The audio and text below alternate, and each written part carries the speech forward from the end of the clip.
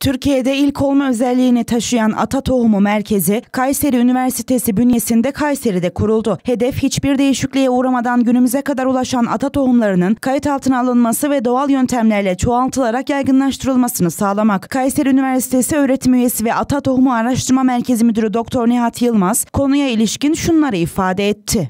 Doktor öğretim üyesi Nihat Yılmaz, Kayseri Üniversitesi Atatohum Araştırma Merkez Müdürüyüm. Bizler 2020 yılında bir e, kalkınma ajansı projesiyle birlikte yerli ata tohumlarımızı önce ulus e, develi bölgemize daha sonra da Kayseri bölgemizin tamamına yaygınlaştırmak amacıyla yola çıkmış bir ekibiz. E, ekibimizle birlikte biz 2020 yılından itibaren Kayseri'de bulunan yerel ata tohumlarının toplanmasını sağladık ve bu çerçevede de bir merkez kurduk üniversitemiz bünyesinde. Yani bunu gururla söyleyebilirim. Türkiye'de tek bir merkez Ata Tohumu Araştırma Uygulama Merkezi. E, bu merkez çerçevesinde bizler e, öncelikle bu aldığımız yerel tohumları e, önce e, fideye dönüştürüyoruz ve bunları fideye dönüştürdükten sonra da yerel halkla buluşturarak e, yaygınlaştırılmasını sağlamaya çalışıyoruz. Ata tohumu dediğimiz zaman şunu anlamalıyız. Biz geçmişten kalan ve hiçbir değişikliğe uğramadan ve aynı zamanda laboratuvar koşullarında herhangi bir şekilde müdahale edilmeden günümüze kadar gelmiş tohumlar olarak algılamamız gerektiğini e, söylemeye çalışıyorum.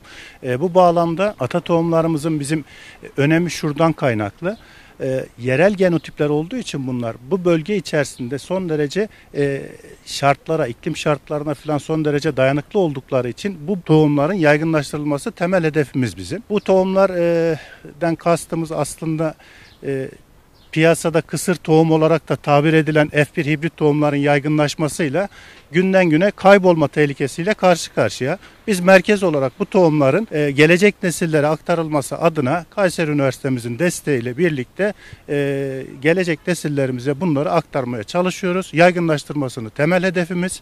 Bu amaçla da e, çalışmalarımız yoğun bir şekilde devam etmektedir. Kayseri'de baktığımız zaman yerel çeşitler nelerdir diye e, şöyle bir bakacak olursak domateslerde biz karahıdır ya da karabacak domates dediğimiz domates, yerli domates tohumlarımız. Bunun yanında yamula patlıcanımız var aynı zamanda ve aynı zamanda bir diğer tohumumuz da biber. E, cırkalan biberi son derece önemli bizim için. Bu biberler üzerinde çalışma yapmaya devam ediyoruz. E, bu çeşitleri mümkün olduğunca katma değerini arttırıp e, yerel halkta e, paylaşarak bunların çoğaltılması ve yaygınlaştırılması temel hedeflerimiz arasında devam edecektir. Atatohum merkez olarak biz sloganımızla bitirmek istiyoruz. Geçmişten miras, geleceğe ışık, ata tohumu diyoruz.